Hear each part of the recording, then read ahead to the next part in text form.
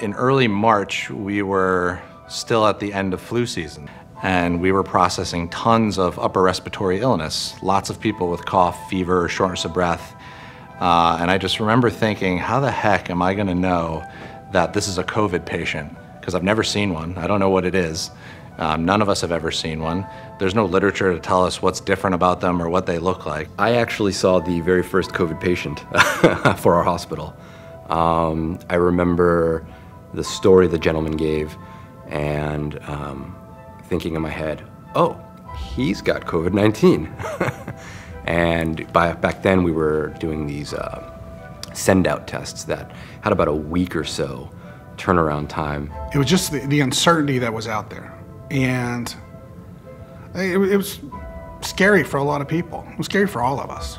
Opening the COVID units it's been early mornings, long nights, trying to just make sure that the nurses and staff up on those units feel comfortable and are using machines and PAPRs and stuff that they didn't use on a daily basis um, or even ever. It's not fear anymore, it's certainly concern, the, I think, appropriate level of concern. Um, you've got to be respectful of this thing. So it's kind of like um, one of those old-fashioned jumper suits that you'd put your little kids in when they were little, and you zip it up. It goes all the way to your neck. It has a little hat, and um, the PAPR hat pretty much looks like you know an astronaut helmet. And you turn the motor on. It's got a hose that goes in, and it continuously blows cool air that goes out. That way, nothing can come in, which that's what kept us safe. We've shown that by following our processes and our procedures and being smart, that we can protect ourselves.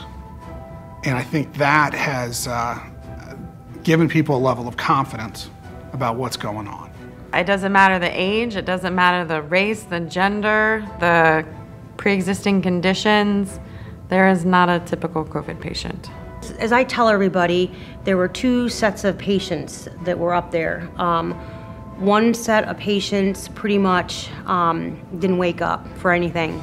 The other set of patients, um, they would they would be awake, um, very very slow to response. It was it was like talking to somebody who had a massive stroke. It was like you could tell they were thinking, but it just didn't come to their lips. And um, nobody ate. Nobody ate. And then, you know, clearly, you know, when people did start to come out of that state and then start to eat, we knew that they were on the road to recovery. You know, and then, you know, they were very, very thankful when they left. I mean, just, you know, hey, thanks for, you know, I'm, this has been so good, you know. Um, none of them really voiced that they were scared. I never, you know, in any of my interactions did they ever say that they were scared. I'm aware of the precautions I need to take. Um, but at the same time, you know, I, I more or less keep these precautions always with every patient.